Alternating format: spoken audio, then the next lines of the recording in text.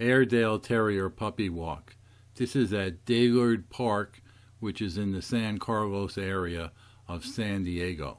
This is just the second outing for Teddy, our 12 week old Airedale Terrier puppy, and his companion, Annie, who is five years old.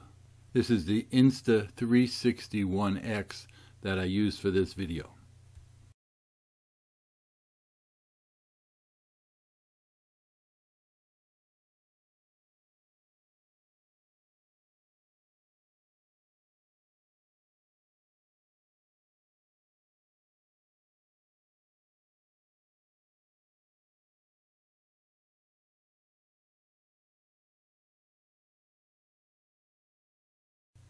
With the Insta 361X, it films everything so you don't have to point it. And it also, when it stitches the video together, removes the selfie stick. So you can see I'm holding it in my right hand, but it's invisible.